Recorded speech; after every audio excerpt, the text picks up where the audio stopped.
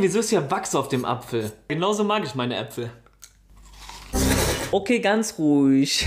Viele Äpfel haben tatsächlich eine natürliche Wachsschicht, die dann gegen Insekten zum Beispiel schützt. Ist also ganz normal und gesundheitlich auch erstmal nicht bedenklich. Aber wenn die Äpfel nicht aus Deutschland kommen, dürfen die künstlich gewachst werden.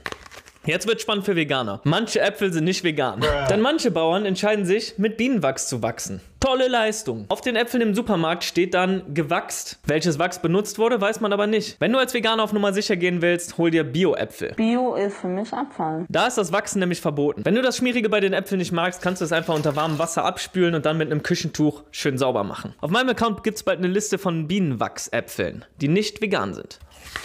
Let's go.